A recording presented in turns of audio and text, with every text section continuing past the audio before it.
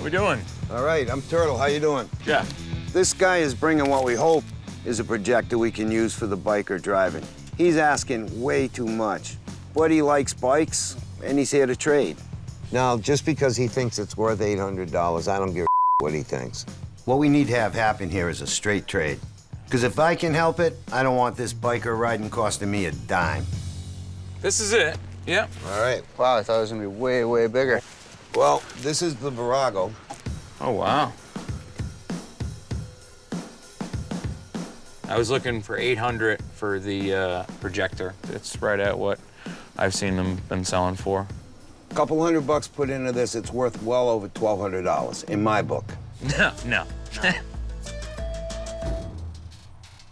I mean, we'll be able to work out a deal, but how about the bike for the projector and a hundred bucks? No, I don't give money out. That doesn't happen. It's how much you're gonna give us. It's nothing to do with us giving you any money. I think we're gonna try a variation of the good cop, bad cop.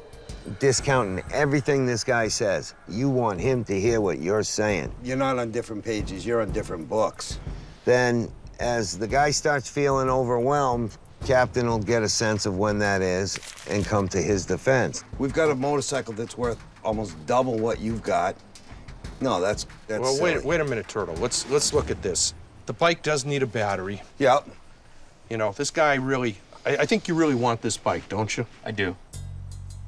This motorcycle needs under $200 to have it in its maximum value.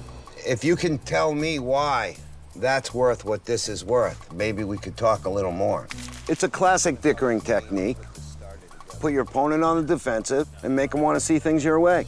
Well, I, I, I paid 12 for it. I've only used it, you know, less than half a dozen times. It's still in brand new condition.